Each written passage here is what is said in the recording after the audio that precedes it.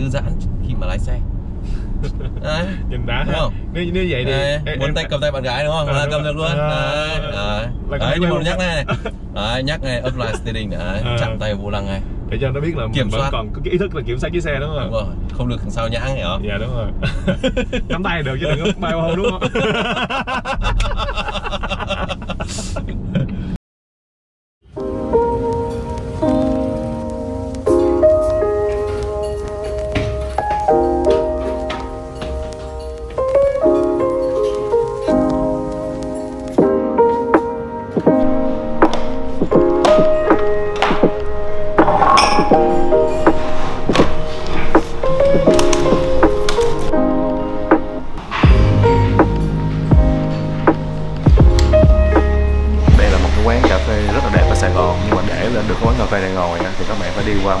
xoắn ốc một cái cầu thang màu đỏ. Nó xoắn xoắn xoắn xoắn xoắn nhưng mà đó là phần thưởng của những người chịu khó. Thì lên quán cà phê này mọi thứ đều rất là đẹp, tuyệt vời lắm. Hồi xíu hãy cho mọi người đi vòng quanh một cái quán cà phê này nha. Quán cà phê Okio rất là đẹp. Ngày hôm nay phải đi lên quán cà phê này, tại vì buổi sáng tới công ty thấy đau mút quá. Tại vì có như một cái ờ, gọi là gì ta thảm cảnh nó diễn ra của một người làm video đó là mất sụt. Mất sụt. Nghe mất sụt cái quằn quá mà sụt nó không quay lại được nữa hôm trước mình có làm một chương trình mình tính là uh, có một cái trải nghiệm là dẫn những người làm một cái ngành khác đi mua giày xong rồi nói về cái ngành họ làm. Thì cái video đầu tiên là mình uh, feature người anh của mình là làm uh, giám đốc Volvo bán hàng Volvo xong mà kiểu như đi xe Volvo thử xe Volvo coi làm sao xong mà đi vô Grab mua giày coi làm sao. Cuối cùng mất hết sụt luôn còn giữ lại được cái chút xíu à. Buồn quá giờ buồn phải tới một quán cà phê thật là đẹp để mình giật mút lên. Em tài lắm hả? Dài lắm. Nhưng mà nó nó bị mắc ờ, mất tới khoảng 80 phần trăm sụt luôn đúng không em? Mà mà à, em cho anh không tám mươi phần trăm đâu anh. Dạ, cái lỗi mất sụt đó là từ tại ai? Tại ai tại em anh tại em Tại em. xin lỗi anh hùng.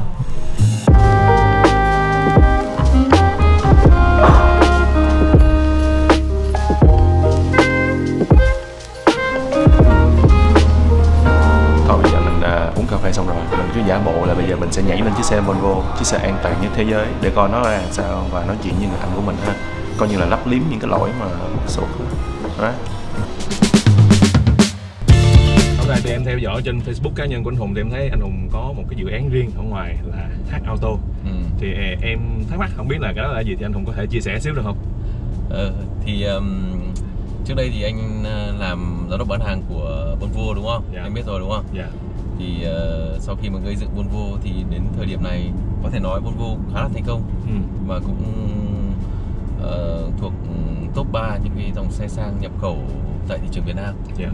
Thì uh, anh nghĩ um, 5 năm cũng là cái thời điểm mà mà mình có thể uh, dừng để làm cái việc khác của mình rồi. À. Thì uh, H Auto là cái ước mơ rất là lâu của anh Dạ. và anh muốn là ừm, xây dựng một cái showroom Ờ. đấy, chuyên bán cái dòng xe xe lướt, Dạ. xe sang lướt Dạ. và thời gian đầu anh sẽ tập trung chủ yếu là ờ, các cái dòng xe Volvo lướt. Ừ. Đấy. H Auto nhắc đến H Auto là chuyên các dòng xe Volvo lướt. À. Đấy. Tức là Vào đây. Dạ. là chiếc xe mà anh vừa mới mua ở Sài Gòn sau khi mà anh ờ, xuống máy bay cái là anh đến thẳng đến khách hàng anh mua chiếc xe này. Ờ. Thì hôm nay anh em có xe để để để, Để review. để review đây. Ồ, vậy nếu vậy thì tính ra là bây giờ anh Hùng sẽ tự vận hành một cái business cá nhân của mình và cũng liên quan tới xe Volvo luôn. Đúng rồi. Anh, sẽ bắt đầu lại sự nghiệp của mình tiếp tục bằng xe Volvo. Hồi nãy lúc em giới thiệu anh đó thì em có nói là anh là thần kinh Volvo. em là thần kinh dài, anh là thần kinh Volvo. Tay á. Bắt tay cái. Hôm nay ờ, thần kinh Volvo gặp thần kinh dày chắc là mất điện luôn. Không, em, em mất điện, em mất điện. Tại vì đi xe xịn quá em mất điện. Không mà em nổi tiếng lắm anh thấy Không, không, trên, ờ, em- YouTube hoành tráng lắm. không cái đó không có gì hoành tráng anh nhưng mà vấn đề là ừ, khi mà em cảm thấy là anh đã có một cái sự nghiệp ổn định rồi nè. Tức là chức danh của mình là giám đốc này nọ cái rồi em biết lương chắc cũng không hề thấp đâu. Nhưng mà tại sao mình lại ờ, từ bỏ cái công việc đó để đi làm một công việc khác mà có thể là nó sẽ rủi ro hơn hoặc là nó sẽ mang nhiều cái màu sắc là phải tự mình làm thì mình sẽ phải vất vả hơn nhiều hơn? Ờ thì đấy thì như anh nói chia sẻ trên Facebook khoảng 5 năm nay là ngày nào anh cũng nói về Volvo cũng Dạ. đến thần kinh luôn nhiều rằng bảo thằng này đúng thần kinh yeah. chả có cái gì ngoài xe cái cộ cả ờ. đấy thế nhưng mà khi mình ờ, đam mê một cái gì đấy ừ. khi mình yêu một cái gì đấy đúng không Dạ. mình muốn chia sẻ cho mọi người biết Ừ.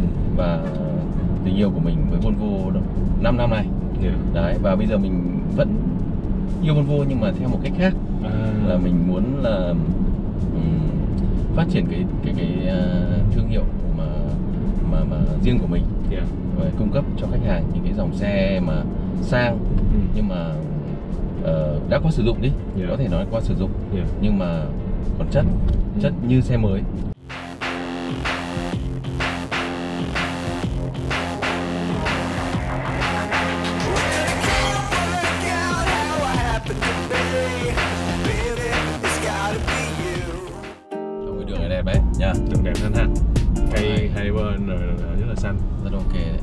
nhiều khi buồn quá không biết làm gì thì tối vẫn có cái sở thích là lái xe ra ngoài mở nhạc lớn lên rồi ngồi nghe thì trải nghiệm chạy xe rất là chill Ờ, nhiều khi mình nghĩ xe hơi nó cũng không đơn thuần là một công cụ để mình đi từ điểm A đến B mà là một còn cái gì đó mình phải hưởng thụ nó nữa đúng rồi Dạ.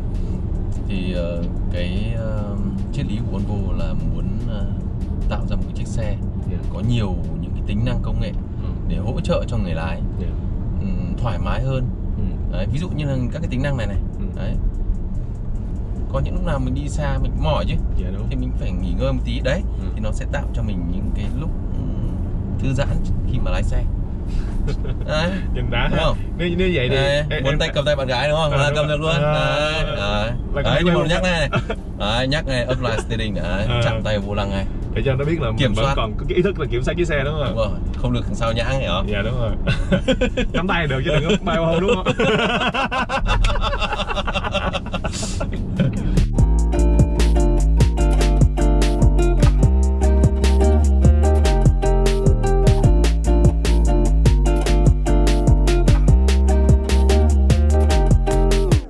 xét về cái ờ, định hướng auto của anh Hùng là anh Hùng sẽ coi như em, em dùng từ là khởi nghiệp đi ha. Cho nó Khởi nghiệp đấy. khởi nghiệp tiếp tục khởi nghiệp mà vẫn là Volvo. Vẫn là Volvo. tức là một khi mình đã là người Volvo thì suốt đời mình sẽ là người Volvo đúng không anh? Ở khi mình ờ, làm Volvo, mình nghiên cứu về Volvo ấy, Dạ, mình thích cái văn hóa của người Thụy Điển, dạ, thích cái văn hóa của Volvo. ừ, Ví dụ như anh sang Thụy Điển nhá, dạ, vào cái, cái bảo tàng ở Thụy Điển ấy, toàn thấy là nói về môi trường không, rác thải không, Ồ, đấy thì có nghĩa là người thụy điển họ đã nghĩ cho thế giới rồi chứ không Dạ. phải nghĩ cho cá nhân rồi đất nước của họ. Ừ, đấy tất cả mọi thứ là vì môi trường. Dạ, rồi xe này cũng thế tiết kiệm nhiên liệu bảo vệ môi trường. Ừ, đấy giá trị cốt lõi của Volvo là gì? Safety này environment này ừ, và quality. Đấy thì tất cả mọi thứ xoay quanh ấy dạ. do con người ở Tức là khi mà anh đi qua Thụy Điển thì anh thấy con người họ phản ánh y chang như cái việc mà anh sử dụng cái xe của họ đúng không? đúng rồi Nếu nếu vậy thì trong gì trong đạo Phật có cái câu là tâm sinh tướng vậy thì cái này trong trường hợp này thì mình sẽ nói là tâm sinh xe. cái tâm họ vậy nên sinh đến cái xe giống vậy đúng không?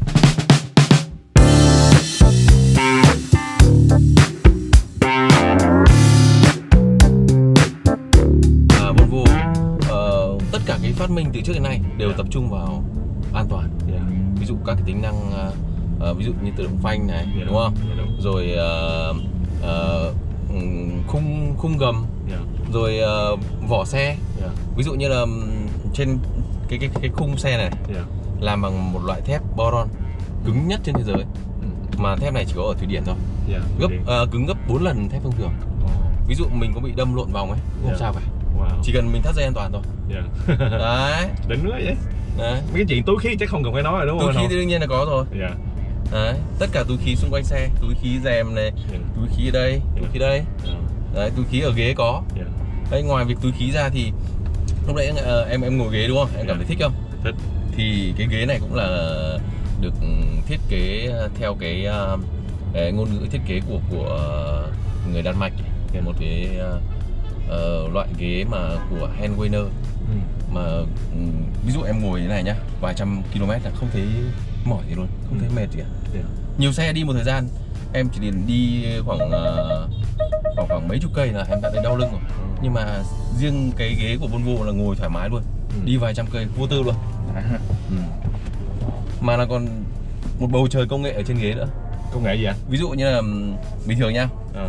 theo cái nghiên cứu ờ, ừm, khi có va chạm từ phía sau ấy Ừ. có khoảng ờ, 25% 20 đến 25% các cái vụ tai nạn đâm từ phía sau nghĩa là mình đang đi như này nhá là bị đâm đít thì bị đâm đít chẳng hạn thì ờ, theo quán tính thì mình sẽ văng người ra phía trước À. giật về phía sau dạ đúng nếu mà mạnh quá nhanh quá Ừ. thì mình bị gãy cổ Ồ, đấy thì ờ. Volvo trên xe này trên ghế này Dạ. nó có một cái công nghệ gọi là Whistlat ừ. đấy khi mà xảy ra va chạm như thế thì cái hệ thống đấy nó phát hiện ra thì nó sẽ siết chặt mình vào lưng ghế ôm chặt như này Ồ. và nó hạ xuống 27 độ sau nó đưa lên Dạ. để giảm chấn thương vùng lưng với cổ Ừ. đấy tránh gãy cổ à. Tôi tính nhiều quá anh ha Ừ. Thực ra thì uh, Volvo nó có nhiều tính năng rất hay mà các xe khác không có. Ví dụ nhá, trên cái đường này là anh có thể thử cái tính năng gọi là Adap- Adaptive Cruise Control, Dạ. hệ thống kiểm soát hành trình chủ động. Ừ. Đây anh sẽ lắp thử nhá. Dạ. Đấy. Adaptive Cruise Control, đường này cầm 60 đúng không? đúng rồi Đây, để 60. Từ từ nhá. Ừ. Đấy. Anh có thể buông cả buông ờ, cái chân chân chân ga chân phanh ra. Nó Rồi. sẽ bám đuôi cái xe ờ, Ford đây. chiếc xe transit này Đó, đấy, Rồi. anh sẽ giữ khoảng cách. dạ Đây, có 5 cái vạch này để Ờ. ờ, set cái khoảng cách xa gần. À tức là bây giờ cứ chiếc xe đó chạy là mình cứ giữ khoảng cách chiếc xe đó Ờ, rồi xong đấy. mình sẽ chạy đúng cái tốc độ quy định Đúng của rồi, xe này anh cài 60 nha, ông này đi có 40 này, 39 này, tự À. tự giảm tốc này. là chiếc xe đó tự giảm tốc lại xe mình giảm tốc luôn Đúng rồi, xe tăng tốc, Ồ, xe mình tăng hay tốc luôn. vậy. còn mình, còn mình có phải là thắng không anh hay là mình có mình tự tin Không, này, thắng luôn chân này. Ồ, hay vậy Ôi. em chỉ tưởng là ờ, nó chỉ khóa tốc độ hoặc là giữ khoảng cách thôi Đây, đây, đây, nha nha. Ờ. Đây, tôi nói bám đuôi cái ông VinFast này này. Đây này, À. nó giảm tốc này, nó dừng Ừ. lại này. Anh có làm gì đâu. là anh không làm gì đâu đúng không Không, như Paragame luôn này này, không vướng gì đâu. Ôi, khỏe như vậy Đấy. và cái này là mình có tự tin để mình chạy trong thành phố đông đông kia Sài Gòn này không anh Thực ra ấy, chức năng này chỉ nên dùng trên cao tốc thôi. ờ Nhưng mà ở đây chẳng qua là là là, là anh quen rồi ấy dạ thì anh demo cho em thấy thôi. ừ. Chứ còn cái này nên dùng đến cao tốc thì nó nó thích hơn. thoải mái hơn đúng không anh Với đường dài đường dài. dạ Tại vì như này này, cái này nó hay ở chỗ là ví dụ như em đi ở đường cao tốc mà 120 km/h nhá.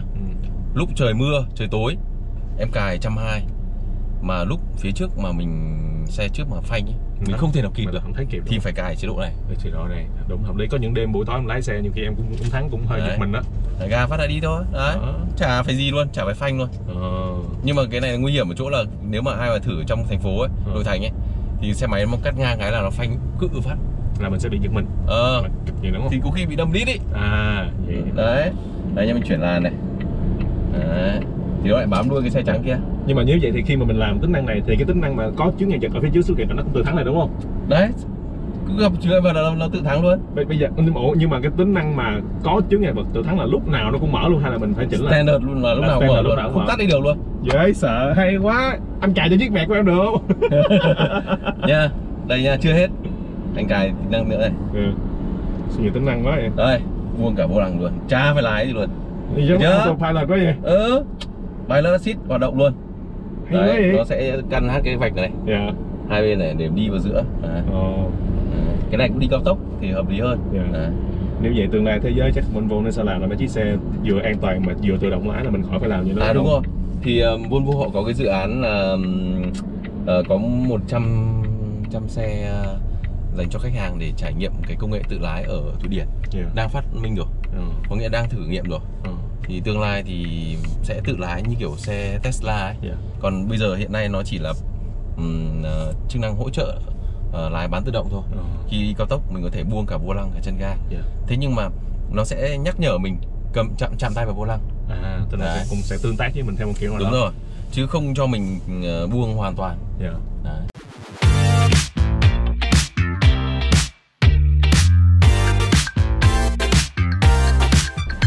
Đúng rõ ràng nhưng mà cái tính năng an toàn vẫn là cái tính năng mà em sẽ cảm thấy là ồ, kinh điển với cái giao thông mà ở Việt Nam ấy nó Dạ. phức tạp như này ấy, Dạ. thì với những chiếc xe của Volvo thì nó rất là tiện lợi Dạ.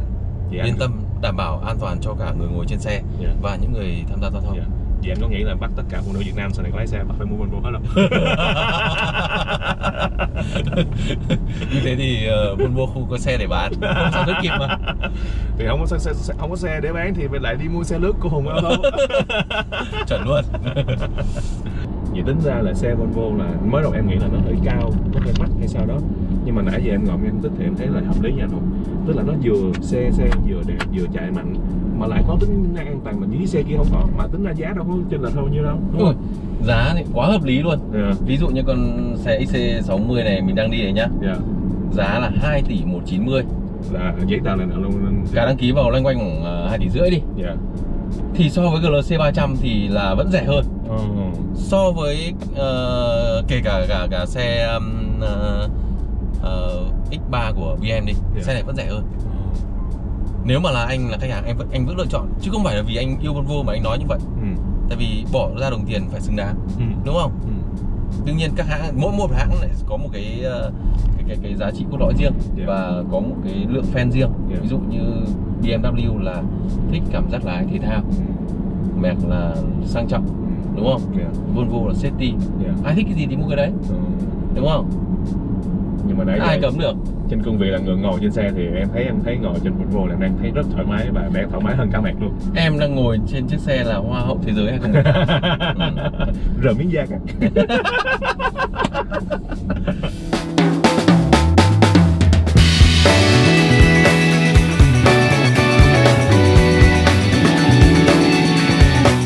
Ờ, ngày xưa ở Merc nhé anh đã được học qua một cái lớp gọi là 110 bước ờ, kiểm tra xe trước khi mua xe. 110 bước luôn hả? Ờ, em tưởng có 30 bước thôi chứ 110 bước làm biết chừng nào không xong 110 bước đấy. Dạ. Thì ờ, ở Mercedes họ đào tạo rất là chuyên nghiệp luôn. Dạ. Để mình biết được ờ, những cái cần xem một chiếc xe cũ nó như thế nào. Ừ. để mình lựa chọn nó là sản phẩm tốt hay xấu. Dạ. Thế nhưng mà rất là hay ở chỗ là như này. Tất cả những xe mà hiện nay anh đang mua là xe Volvo ấy. Ừ. là để hầu hết là đều còn bảo hành chính hãng dạ cho nên là khách hàng vẫn đang sử dụng dịch vụ của hãng. Dạ hầu hết là đưa vào hãng để uh, sửa chữa bảo dưỡng rồi bảo hiểm. Tại vì vẫn còn bảo hành mà. Nên là quy trình nó vẫn đúng hết thành ra vẫn đúng. cũng không phải lo có lịch sử rõ ràng luôn. Dạ ví dụ xe này nhá anh chỉ cần đọc biển số là anh uh, check một phát lịch sử của hãng là có những cái gì phát Ờ. là anh biết ngay. Đấy vậy hát auto tính ra cũng hùng mạnh quá anh á. À, tinh hùng luôn mà tinh hùng mạnh quá. Vừa chắc trong hãng được và vừa làm ở ngoài được nữa đỉnh đấy.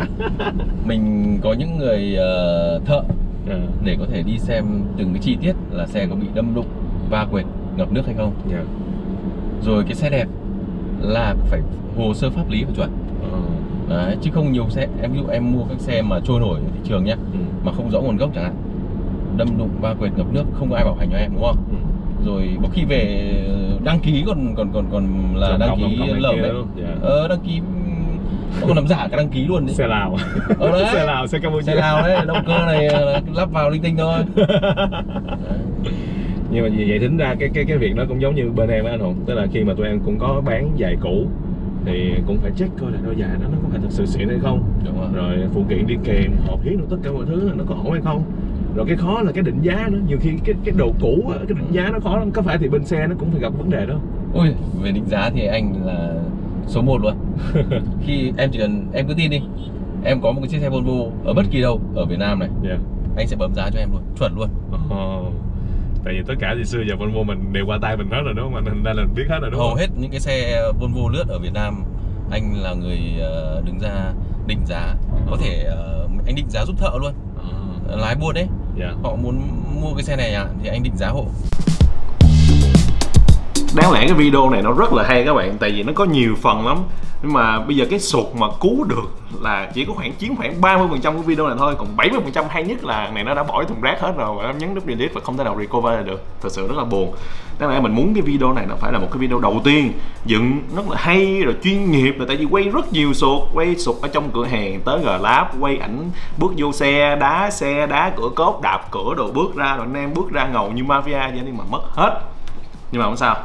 Ờ, cuộc đời mà đúng không? Cuộc đời cho mình gì thì mình chơi cái đó. Thì các bạn thấy à, đây là cách mà dựng lại. Thì nói chung là nó cũng hơi lấp liếm á có cái chỗ nào trống á, bị mất dữ liệu thì đục khoét gắn ở chỗ đó đúng không ạ? sáng giờ làm này đúng không? Thì các bạn coi các bạn có thể thấy là nó hơi ờ, nó hơi ngắt quãng chút xíu nhưng mà thật ra thì mình nếu mà mình có đủ cái sụt để mình dựng lại thì mình hy vọng là, là, là nó, nó sẽ rất là hay. Nhưng mà thôi kệ nó tới đâu hay tới đó thôi có gì chơi đó. Và thì sẽ coi cái này như là một bản mẫu coi cái này như là một cách thử thôi. Mà mình mình nghĩ là lần sau mình sẽ làm một cái khác. Cũng theo concept này, mà mình hy vọng là các bạn sẽ chú ý theo dõi. Mình tạm gọi cái đó là một cái show, một cái show mà có mini show.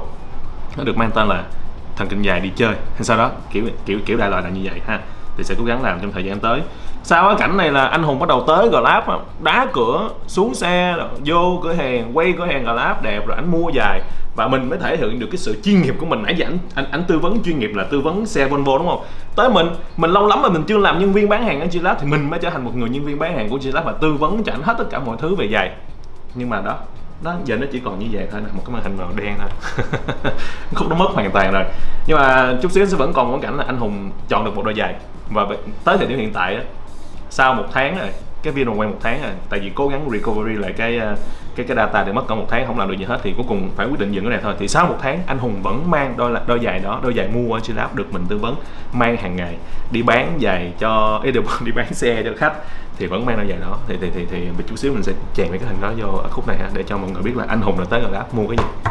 Nhưng mà cái khúc mà anh hay nhất ở trong cửa hàng là em đã xóa hết rồi.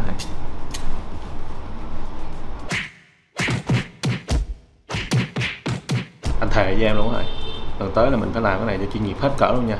Và anh nghĩ cái cái cái cái cái mini show này lần tới nó sẽ được bắt đầu bởi người bạn thân duy nhất của anh đi. Mới có chiếc xe hay lắm. Được Được. Chơi